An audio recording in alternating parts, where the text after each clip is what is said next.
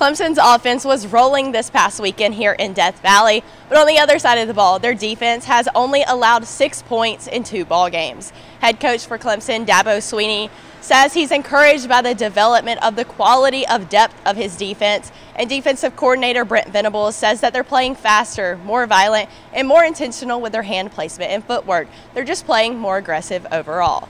Venable speaks very highly of the leaders of this Clemson defense. Here's what he had to say in regards to Baylon Spector and James Skalski.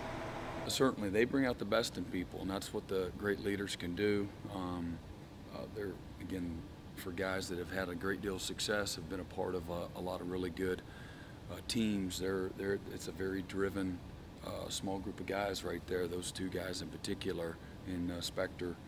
Uh, very driven. You can't raise the standard high enough for them. And um, uh, that's awesome when you have that. You can't you can't coach that. The guys either have it or they don't. And I've had plenty of uh, older guys that uh, come back and, and don't have that same uh, edge. They've like I've done that, you know. Uh, not necessarily a relaxed mindset, but just not the same hunger uh, when you have it, though, you, you, again you raise everybody's levels up.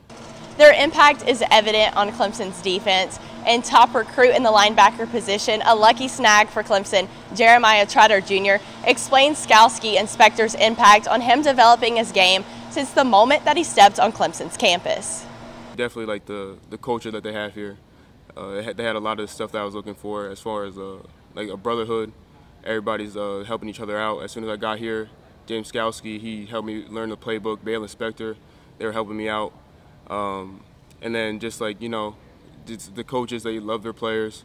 They really care about their players. Whether you're a walk-on or the starter, they're going to show the same interest to you. And uh, make sure you're, you're, you know, you're handling your business.